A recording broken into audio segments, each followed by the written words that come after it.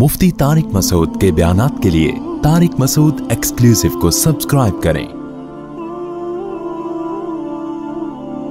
Tariq Masood exclusive.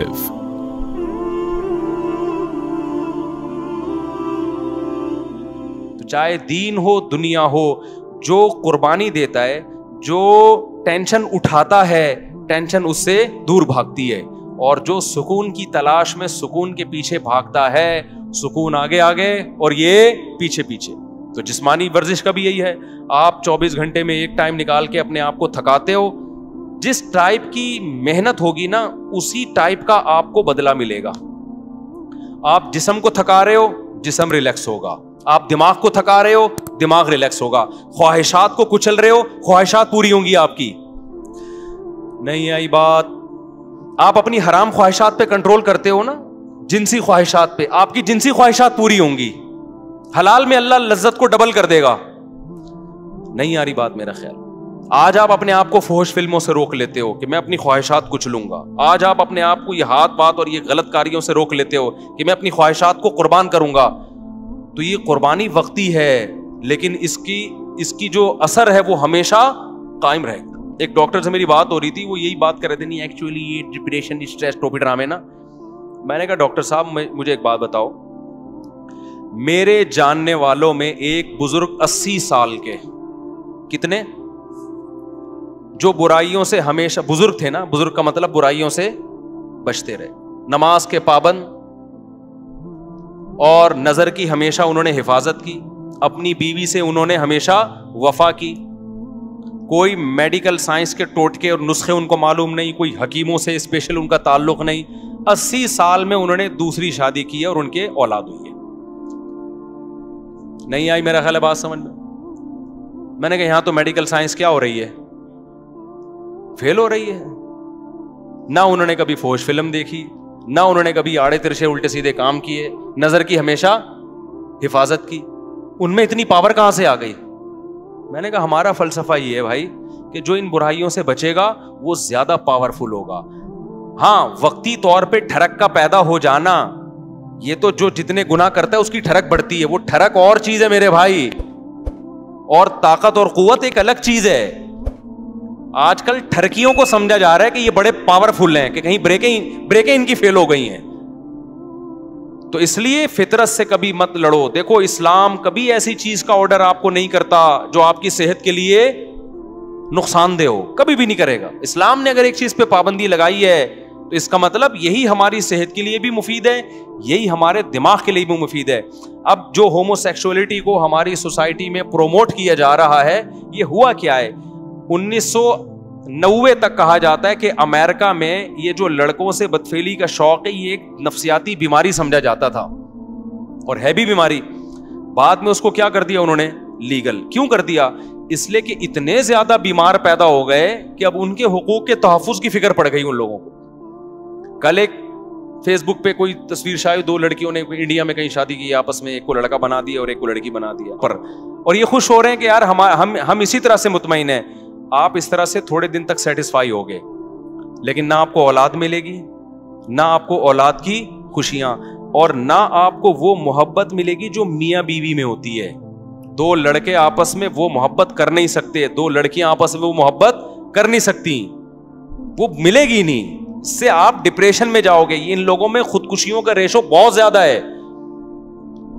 तो हम तो जानते हैं भाई ओलमा को, सोलहा को। अभी देखो, सऊदी अरब में एक खबर आई है कि नब्बे साल के बुज़ुर्ग ने एक अट्ठारह साल की लड़की से शादी की है। ये पोस्ट चली है। उस पर लोग बड़ा मज़ाक भी उड़ा रहे हैं। अब मुझे नहीं पता उस लड़की ने क्या देख के नब्बे साल के बुज़ुर्ग से शादी कर ली।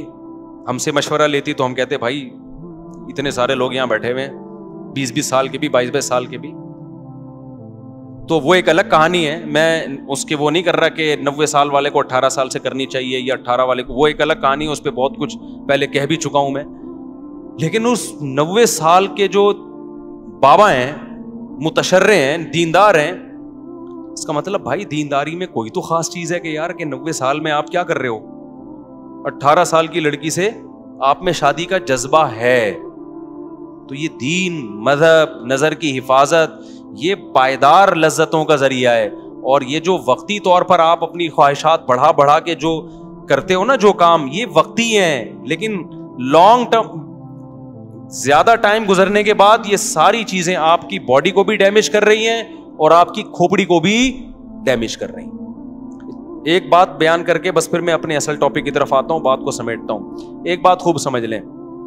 मैं इस, ये बात बयान कर रहा था कि हमारे डॉक्टर लोग कहते हैं कि भाई ये तो सारे ही करते हैं। ये बात बिल्कुल गलत है। मैं मानता हूँ कि अब बहुत से लड़कों ने ये करना शुरू कर दिया लेकिन ये नेचुरल नहीं है। ये लड़के लड़कों से सुन के करते हैं या फोहश फ़िल्में देख के। हम कई अपने दोस्तों को जानते हैं जो बुलूगत की दहलीज पे कदम रखा ना उन्होंने फोहश फ़िल्म देखी ना उनके आड़े तिरछे दोस्त थे। उनकी शादियाँ 25, 26, 30, 30 साल में हुई ज़िंदगी में एक दफ़ा भी उन्होंने ये काम नहीं किया। तो ये नेचुरल नहीं है। हाँ ये ज़रूर है कि जब आप सुनते हो या फोहश फ़िल्में देख के अपनी ख्वाहिशात को भड़काते हो, फिर आपके पास कोई रास्ता पूरे करने का ज़रिए नहीं होता, फिर आप इस तरफ़ आते हो। फिर जब एक दफ़ा आ गए, फिर दो दफ़ा, फिर तीन दफ़ा, फिर लत पड़ जाती है। फिर आप बजाय इसके कि आप इसको कहो कि ये नेचुरल नहीं है, बल्कि आप इस पे नेचर का लेबल लगाते हो, ये क्या है भाई? ये तो नेचुरल है। मैं एक मिसाल देता हूँ आपको। देखो, हज़रत उस्मान इबन मजरून रज़ी अल्लाह तु एक सहाबी थे। उनसे हदीस मरवी है, सही हदीस है। वो फरमाते हैं, हम जब सफ़र पे जाते हैं ना तो अपनी बीवियों से हम दूर हो जाते तो हमें बहुत ज़्यादा शहवत का गलबा होता हमारे ऊपर। तो हमने रसूलुल्लाह सल्लल्लाहु अलैहि वसल्लम से इजाज़त मांगी कि गुनाह का खतरा है हमें, कहीं जिना में ना पड़ जाएँ। आप हमें इजाज़त दें कि हम अपने आप को नामर्द बना लें। कोई ऑपरेशन करके या कोई दवा खा के ताकि हम बुराई से बचें। तो नबी सल्लल्लाहु अलैहि वसल्लम ने फरमाया, ना, ये काम करने की तुम्हें इजाज़त, नामर्द बनने की इजाज़त नहीं। क्यों? फरमाया तजवजुल वदूद अल वलूद, तुम निकाह की तरफ़ जाओ, मजबूर होकर निकाह करो, ताकि तुम्हारी औलाद हो। अल्लाह ने इतनी शदीद ख्वाहिश इसलिए रखी है, ताकि तुम मजबूर होकर किसकी तरफ़ जाओ, ना चाहते हुए भी निकाह करो तुम। आप मुझे बताओ, उनके लिए कितनी टेंशन थी, वो अपने आप को खसी करना चाह रहे थे। शदीद टेंशन में होंगे ना? लेकिन ना उनका ख्याल आया कि भाई मैं हैंड प्रैक्टिस के ज़रिए अपने आप को डिस्चार्ज कर लेता हूँ और अपनी टेंशन को मैं ख़त्म कर लेता हूँ। ना पैगंबर ने उनको कोई मशवरा दिया। क्यों? अरब इस चीज़ से वाकिफ नहीं थे। ये था ही नहीं। तभी हमें, मैं जब इसके खिलाफ बात करता हूँ ना हैंड प्रैक्टिस के खिलाफ तो बाज़ लोग कहते हैं इसके नाजायज़ होने की कोई दलील नहीं है, कोई हदीस नहीं है। भाई हदीस इसलिए नहीं है कि सहाबा में ये अमल था ही नहीं। वो जानते ही नहीं थे। ये तो लूत सलाम की कौम ने लड़कों से बदफेली की है तो कुरान ने उसको ज़िक्र कर दिया, वरना अरबों में ये लड़कों से बदफेली भी नहीं थी। कोई एक वाक्य हमें नबी के दौर में नहीं मिलता कि किसी ने ये काम किया हो। हालाँकि बुत परस्ती थी, शिरक था, सब कुछ था, ये नेचुरल नहीं है। इन चीज़ों की तरफ़ इंसान जब जाता है, जब गलत तरीके से अपनी ख्वाहिशात को भड़का रहा हो और हलाल का ऑप्शन उसके पास बंद हो चुका हो। देखो, भूख आपको लग रही हो, रोटी ना मिले तो फिर आपके सामने जो चीज़ आएगी, एक वक्त कोई गुटका भी रखा होगा ना, आप खा लोगे उसको। आहिस्ता आहिस्ता आपको गुटके की आदत पड़ जाएगी। फिर आपको रोटी में वो मज़ा नहीं आएगा जो किसमें आएगा? गुटके में मज़ा आएगा। तो हमारे नबी सल्लल्लाहु अलैहि वसल्लम ने नहीं कहा कि इस तरह से ना, कि भाई ये तो है ही नहीं है तो नेचुरल ही नहीं है। तो इसलिए अपने आप को इन तमाम बुराइयों से बचाएँ और अगर खुदा न ख्वास्ता किसी से बुराई हो जाती है, आदत पड़ चुकी है तो मैं एक तरीका बताता हूँ आदत छोड़ने का। ये इतनी लंबी तमहीद मैंने इसलिए बांधी है कि डॉक्टरों ने दिमाग ऐसा खोपड़ी नौजवानों की खराब कर दी है कि पहले नौजवान ये बुराई करके तोबा करते थे ओलमा के पास आते थे कि यार हमें कोई तरीका बताएँ, हम ये बुराई छोड़ें। अब डॉक्टरों ने इतना प्रोमोट कर दिया, बास डॉक्टरों ने, सारों की बात नहीं कर रहा कि अब लोग कहते हैं इसको छोड़ने की ज़रूरत है ही नहीं हमें, क्या ज़रूरत है भाई इसको हम छोड़ दें? ज़रूरत ही नहीं हमें इसके छोड़ने की। तो पहले ये समझे कि ये नुकसानदेह है। अब छोड़ने का तरीका क्या है? देखो, किसी काम को करते रहने से करने की आदत पड़ती है, छोड़ते रहने से छोड़ने की आदत पड़ी। सबसे पहला काम तो फ़ौरन से पहले निकाह। इसमें बाज जाली हकीम डराते हैं कि, अबे, तुम तो लुट गए, तुम तो बर्बाद हो गए, तुम्हें तो इतना नाइट फॉल हो गया, तुम तो यूँ दिन दिन में छह छह दफ़ा करते हो बीवी के काबिल रह नहीं हो। और भाई, अगर डिले कर दिया ना तो और नुकसान होगा। फ़ौरन नेचर पे आ जाओ। उससे इस बुराई को छोड़ने में क्या होगी? आसानी हो आहिस्ता आहिस्ता आहिस्ता, जब छोड़े रखोगे ना, आहिस्ता आहिस्ता आहिस्ता आहिस्ता, नेचर, आप अपनी नेचर पे चलना शुरू हो जाओगे। जैसे गलत चीज़ करने से गलत की आदत पड़ती है तो छोड़ने से छोड़ने की आदत हो जाती है। कितने लोग हैं, गुटके खाते हैं, छोड़ देते हैं तो क्या हो जाते हैं? मैं एक दोस्त का वाक्य सुनाता हूँ ना, उसको कोई बहुत खतरनाक नशे की आदत पड़ गई थी। उसने मुझे खुद अपना वाक्य सुनाया। कह रहा, मुझे आदत पड़ गई। तो इतना खतरनाक नशा था, कहते हैं, ये जो लोग कहते हैं ना, हमसे नशा नहीं छूटता, झूठ बोलते हैं। कहते हैं, मैंने क्या किया? अपने आप को किसी कमरे में, घर में ना छह महीने के लिए बंद कर दिया। मैंने कहा, ऐसी की तैसी, घर से बाहर ही नहीं निकलूँगा। हत्या के जुम्मा भी नहीं पढ़ने जाता था कह रहे, मैं मुझे पता था जुम्मा पढ़ने गया ना, वही वही पुराने दोस्त जो नशा करते हैं, वो मिल जाएँगे। फिर मेरे फिर मुझे नशे का शौक हो जाएगा। छह महीने कह रहे मैंने घर के अंदर टेंशन में गुजारे किसी काम के लिए घर से बाहर नहीं निकला। छह महीने के बाद वो खतरनाक नशा छूट गई कह रहे मैं बहुत डिप्रेशन में आता से पागलों की तरह मेरी कैफियत हो जाती। मैंने कहा, मर जाऊँगा, नहीं खाऊँगा। आहिस्ता आहिस्ता बॉडी को से उस नशे के असरात क्या हो गए? खत्म, अब माशाल्लाह फिटफाट है आप, उसके चेहरे की रौनक देखो, आप हैरान हो जाओगे। तो इसी तरह याद रखो जो काम, ये जो गलत तरीके से जो फौज फ़िल्में देखते हैं लोग, या अपने आप को अपने हाथ से अपनी ख्वाहिशात पूरी करते हैं, ये भी असल में एक जिस्मानी बीमारी है, दिमागी बीमारी है। इसको भी कैसे छोड़ा जाएगा कि ये काम करना छोड़ दो? एकदम नहीं छूटता, आहिस्ता आहिस्ता छोड़ो। मैं एक आपको एक नुस्खा बताता हूँ। हमेशा एक काम किया करो कि जब भी आपसे ये गुना हो ना, अपने आप को सजा लाजमी दो। समझ रहे हो? किसी को हाथ से ख्वाहिश पूरी करने की आदत हो गई है, किसी को फौज फ़िल्में देखने की आदत हो गई। गुना करके अपने आप को ऐसे ना छोड़ो, बेलगाम। आपने क्या करना है? जब आपसे गुना हुआ, आपने कोई जुर्माना रख लो अपने ऊपर या नफली रोजा रख लो कि मैं दो रोज़े रखूँगा, एक रोजा रखूँगा या वो हर आदमी की की आदत कितनी है और वो कितनी सजा अफोर्ड कर सकता है। उसकी हर एक की इसमें अलग कंडीशन मैं बार बार वाक्य सुना तो हमारे एक दोस्त को सिगरेट की आदत पड़ गई। कनाडा में। उन्होंने क्या किया? मैंने उनसे कहा, भाई, जब भी सिगरेट पियो ना, आपने उस वक्त दस हज़ार की बड़ी वैल्यू थी पाकिस्तानी। सात आठ साल पुराना वाक्य हो गई। मैंने कहा, दस हज़ार रुपए जो डॉलर के हिसाब से पाकिस्तानी दस हज़ार बनते हैं आपने सदका करने लेकिन मैंने कहा, ये सदका छोड़ना नहीं है आपने। दस हज़ार उनके लिए बहुत बड़ी रकम नहीं थी। वो चाह रहे थे कि मैं ज़्यादा दूँ। मैंने कहा, नहीं, ज़्यादा नहीं। ज़्यादा में ये होगा कि आप दोगे नहीं। थोड़ी रकम हो। वो क्या करते? जब सिगरेट पीते, दस हज़ार। जब सिगरेट पीते, दस हज़ार। मुझे उन्होंने कहा, मेरी तो आदत छोड़ नहीं रही। मैंने कहा, ये दस हज़ार देते रहो आप। इससे ये होगा कि गुना करते रहने से ना गुना की क्वांटिटी बढ़ती है। कम अज कम बढ़ेगी नहीं। जितनी पी रहे हो ना, उतनी रहेगी। अभी इस, इसको यहाँ ब्रेक लगा लो बस। ये भी बहुत है। अब जो गुना करते हैं, दिन में दस दफ़ा, चार दफ़ा, छह दफ़ा तो आपका क्या ख्याल है? यही होता ही है कि जो हाथ से ख्वाहिश पूरी करते हैं, फिर फ़िल्मों की तरफ़ भी वही जाते हैं। फिर फ़िल्में देख देख के लड़कियों से दोस्ती की तरफ़ जाएँगे, फिर दोस्तियों की वजह से आगे जिना की तरफ़ जाएँगे। मैंने कहा, ये जो आपने अपने आप को सजा देना शुरू कर दी है, इसका पहला फ़ायदा ये होगा कि इस गुना, ये गुना यहीं तक रहेगा। आप इससे आगे, इस सिगरेट तक ही रहेगा, चर्च की तरफ़ नहीं जाओगे आप। अबे, क्या हो गया? आप लोग की समझ, चर्च, आप में से कोई चर्च वर्च तो नहीं पीते ना भाई? ये तमाम गुनाहों के बारे में पहला नकद फ़ायदा क्या हो गया? बढ़ेगा नहीं गुना वरना ये जो हाथ से ख्वाहिश पूरी करते हैं ना, ये यहाँ तक नहीं रहते, ये इससे अगले स्टेप की तरफ़ जाते हैं। इंसान, ये जो गोरा पहुँच गया ना, वसीम से शादी और गफ्फार से शादी हो रही है गोरों के यहाँ ये इसलिए कि जिना कर करके थक चुके हैं ये। रोज़ाना नई नाइट क्लब में लड़की, अब ये थक चुके हैं भी कह रहे हैं, कुछ और चाहिए। तो अब कुछ और के चक्कर में पता नहीं क्या क्या कर रहे हैं ये। तो बिंबर में बताया नहीं जा सकता। इंसान ख्वाहिशात का गुलाम है, ख्वाहिशात पूरी करना शुरू कर दे, उसकी ब्रेकें फेल। वो कहते हैं, और कुछ और कुछ कुछ नया चाहिए, कुछ नया चाहिए, अजाब में आ जाता है। हल उसका यह है कि आपको लज्जत चाहिए ना, आपको खाने की लज्जत चाहिए, आप दो टाइम नागा कर लो। खाना खाना छोड़ दो आप, तीसरे टाइम पे आपको दाल में वो लज्जत महसूस होगी। हम रोजा रखते हैं, इफ्तारी में मज़ा आता है कि नहीं आता? लेकिन गोरे ने जो फलसफा दिया है ना कि नहीं, अब कुछ और खाओ, अब कुछ और, अब कुछ और, अब कुछ और। भाई, उसकी तो कोई हद ही नहीं है। ख्वाहिश पूरी करना चाहते हो तो ख्वाहिशात को कुर्बान करना पड़ेगा। आप चाहते हो मुझे खाने में मज़ा आए तो खाना छोड़ दो एक टाइम अबे, नहीं आ रहा ना, क्या हो गया? देखो, जिस दिन रात आप चाहते हो मुझे खाने में खूब मज़ा आए तो उस दिन दोपहर के खाने का नाका कर दो। ये नहीं हो रहा आज के शहवत परस इंसान से। समझते हो? अब आपने क्या करना है? अपने ऊपर जुर्माना लगाना है आप।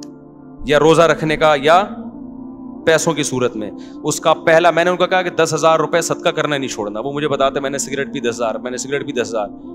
ज़ाहिर एक एक हद होती है ना। उसके बाद सिगरेट पीने से पहले ख्याल आया भाई दस हज़ार की रहने दे, बचा ले दस हज़ार। तो दिन में जो बीस पीते थे, वो बीस से आहिस्ता आहिस्ता कितनी हो गई? दस।